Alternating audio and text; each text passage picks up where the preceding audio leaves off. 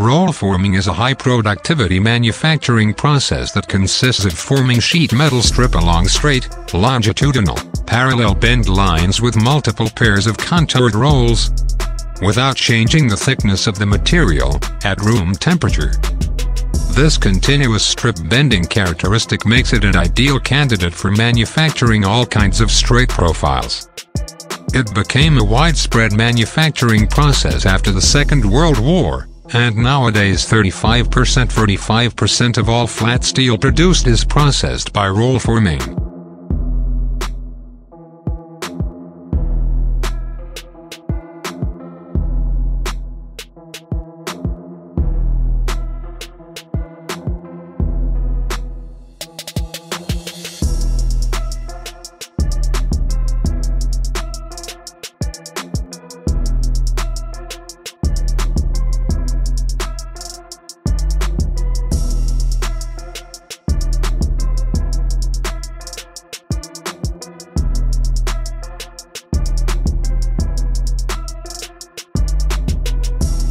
Roll forming machine is a flexible and continuous process, where both the normal rules and the exceptions utilized. It has been proven several times that the roll forming machine accomplishes roll forming tasks, which even seemingly impossible. Although it may take a longer time and much more money. On the other hand, it also showed that plans to roll form simple shapes can create disastrous results if the designer doesn't follow the basic rules of roll forming.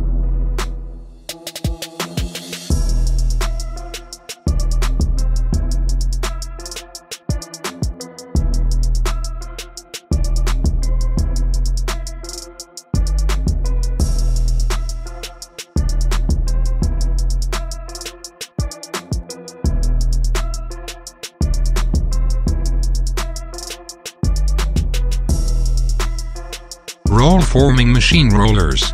Rollers are one of the main core of roll forming machine components.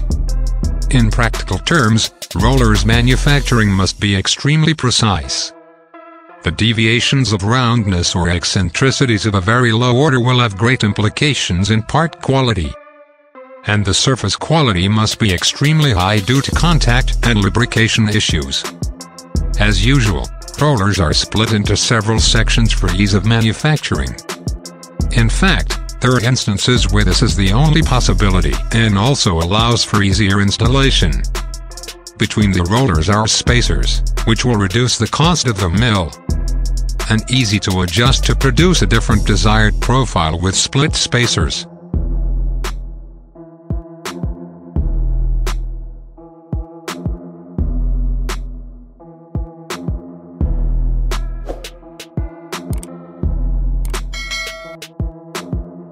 Confirming the total length of the rollers. It has required less expensive spacers to fill the space between the rollers. The spacers are usually produced by seamless pipes. Normally, the wall thickness of the spacers is 10 mm. Lotos uses a 15 mm wall thickness tube to produce spacers. It is obvious that thinner wall tubes are very easily deformed and finally affect the quality of the profiles. The maximum and minimum length of the spacers are restricted by the space of the rollers. And the length tolerance is very important.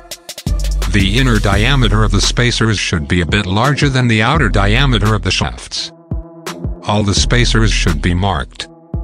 The most frequently used spacers are made out of one piece, and sometimes we also use split spacers. The split spacers can reduce the roller changeover time of various width profiles.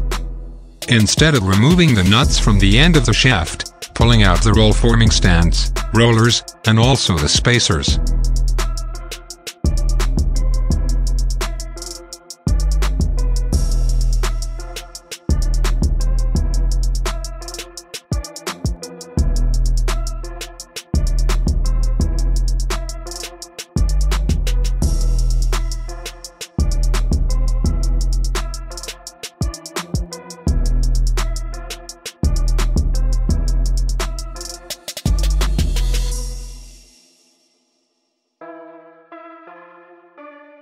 It can only loosen the nut around 20 millimeters.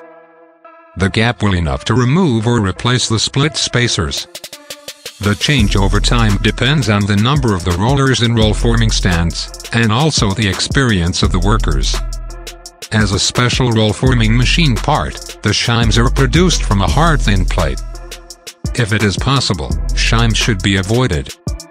Because the shimes can be easy fold, thus create a space, double shim thickness, between the rollers. Finally, it affects the quality of the profile.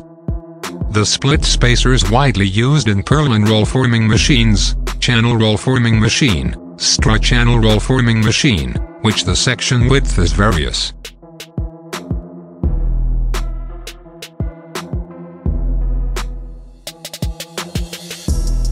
Each stand has a set of two rolls with spacers that align the roll horizontally along the shaft. The space between the rollers, usually set at the material thickness being processed, is the roll tooling gap.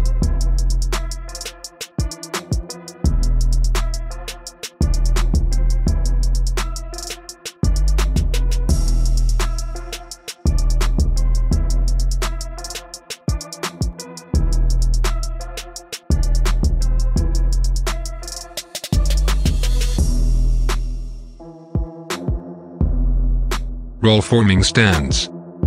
Each side roll forming stand consists of two bearing housings, which are supported by connecting rods, in turn, attached to crossbars.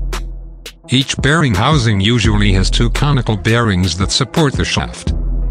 The height of each shaft is adjusted by screws on the top and bottom crossbars. In order to change the rollers on a roll forming machine, the operator side stand must be removed. This means that positioning on the machine table must be precise and replaceable. If the stands are not correctly mounted, there is the possibility that the shafts are not perpendicular to the direction of travel, which can lead to substantial problems during operation.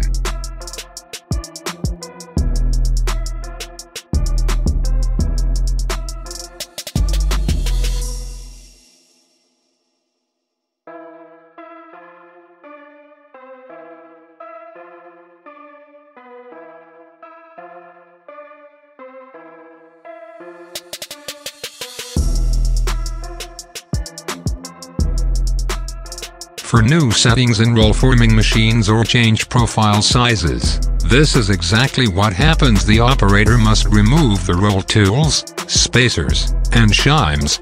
Place new tools on. Tighten everything up. Jog the material through, and make adjustments as necessary to find that sweet spot again. In modern roll forming machine, machine technology has advanced to the point where a roll forming system can cost-effectively handle a lot size of one.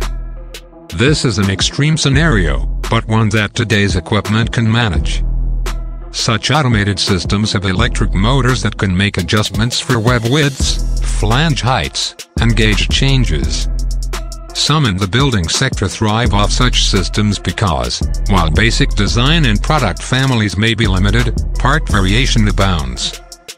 In these cases, certain roll forming systems can automatically adjust tooling to produce myriad variations of gauges, flange heights, and web widths.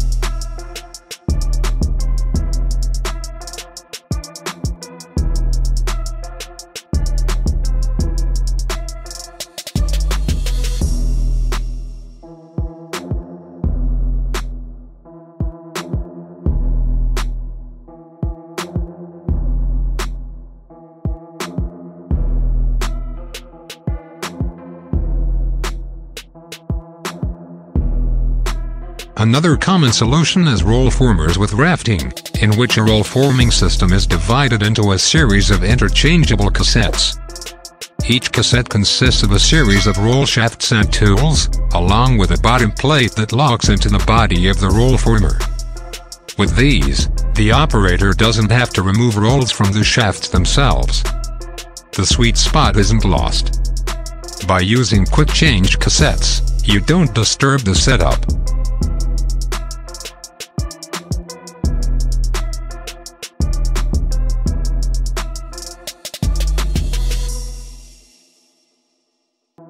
For getting more information about roll forming machines you can subscribe to our channel. And for getting a guide you can contact us by email WhatsApp, WeChat, Telegram and so on.